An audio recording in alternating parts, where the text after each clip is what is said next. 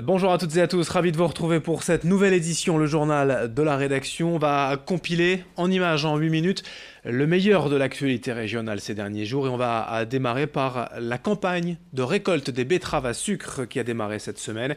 Les Hauts-de-France sont tout simplement la première région de production de France, mais la filière nationale est en grande difficulté depuis plusieurs années. En cause, les prix du marché de plus en plus bas et la concurrence mondiale. Certains agriculteurs ne parviennent plus à être rentables aujourd'hui et il faut en plus composer avec le climat et la sécheresse de ces dernières années.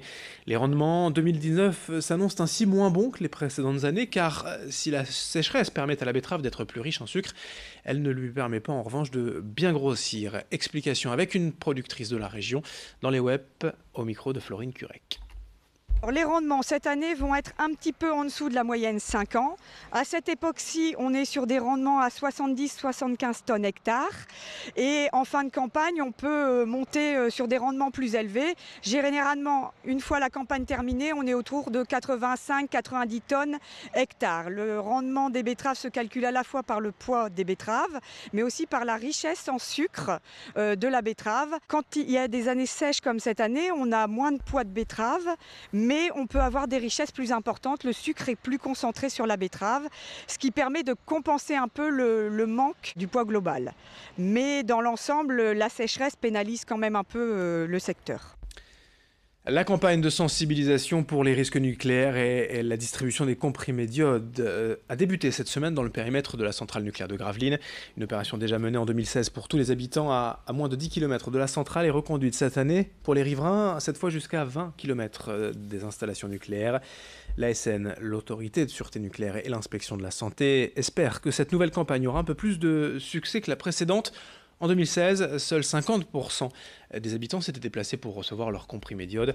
Pour rappel, l'iode permet de protéger la glande thyroïde en cas de contamination radioactive. C'est un moyen de prévention simple mais efficace pour protéger la santé des populations exposées. Explication recueillie par Corentin Escaillé. S'il y a un accident donc, euh, nucléaire qui est détecté, donc il y a une sirène qui se met en route, euh, les, personnes qui sont euh, très proches de la centrale vont entendre cette sirène, donc euh, vont commencer à se mettre à l'abri. Les autres dans le périmètre vont aussi avoir une information, donc information soit par des véhicules avec haut-parleurs, soit par SMS pour leur dire attention, il y a un accident nucléaire, il faut vous protéger. Donc première chose, mise à l'abri. En fait, euh, en même temps que les comprimés sont dispensés, il va y avoir à nouveau un rappel d'informations sur des consignes à respecter justement. Le ministre de la Ville et de l'Habitat était en visite cette semaine, euh, mardi, dans la région à Roubaix. Julien de Normandie est venu évoquer la lutte contre les logements indignes.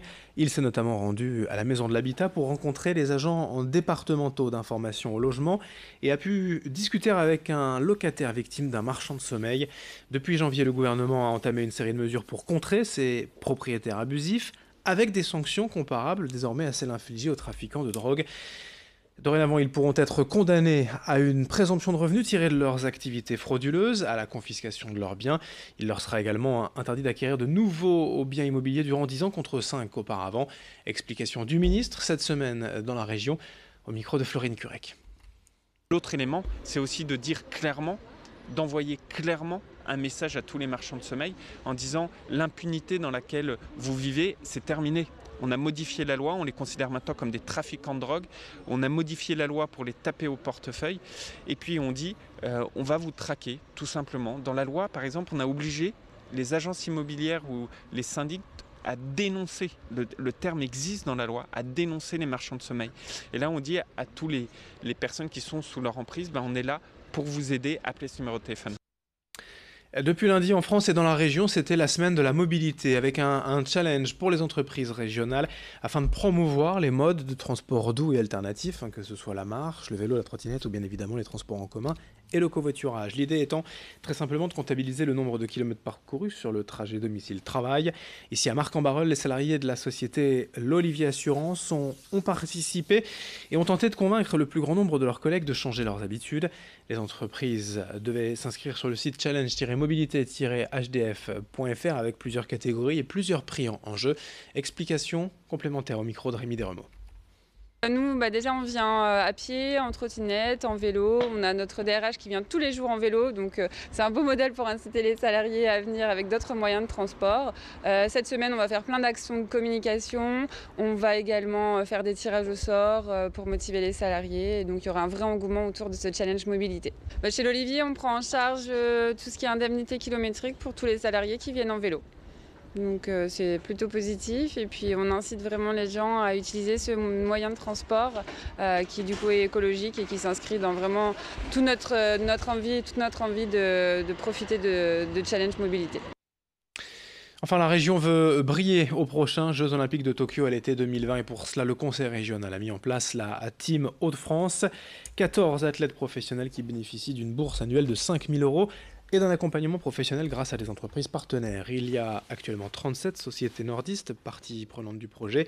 D'autres, bien sûr, peuvent encore les rejoindre. L'idée, c'est de faire un, contrat d'image avec l'athlète, un mécénat en nature ou en compétences, tout ce qui peut aider le sportif à valoriser ses performances. Exemple avec Pierre-Ambroise Boss, champion du monde du 800 mètres, licencié à Lille, lui-même accompagné par l'entreprise Cooptalis. Explication au micro de Xavier Silly.